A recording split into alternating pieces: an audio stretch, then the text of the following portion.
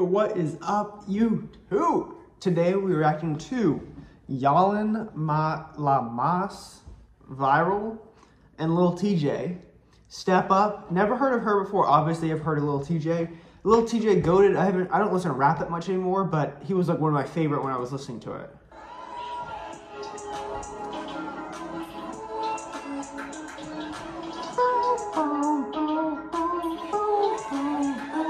This is a short music video.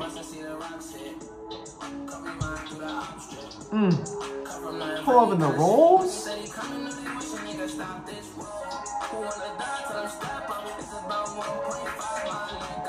Nah, this is tough. Lil Tjay literally never misses. Every single one of his songs, like I remember, I I love, I hate to be that guy, but I've known him since literally the beginning, or at least two hundred thousand subscribers, so a while ago. But he's always been goaded.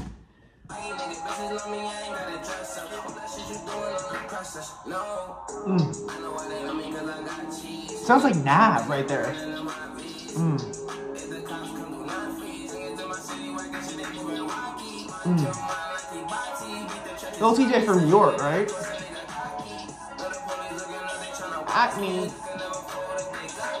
His voice is like at me, at like that, but it's valid. Like again. Up New York.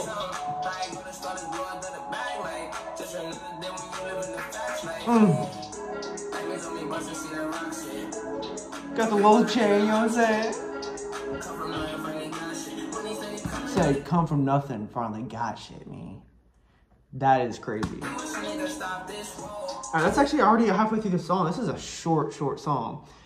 1 to 10, I'm giving a 10 off the bat. I haven't heard um, Yailin yet, but little Tjay part, 10 out of 10. Mm. Mm.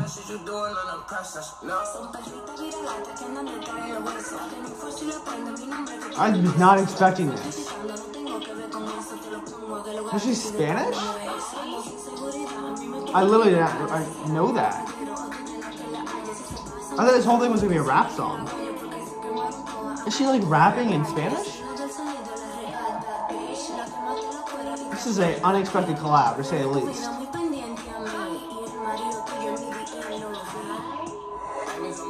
Those are short, like 20, 30 seconds. Mm.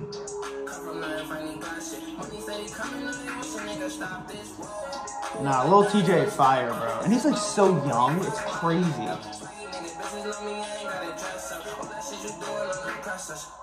Mm, mm, mm. That's already it. Like, this is a short video.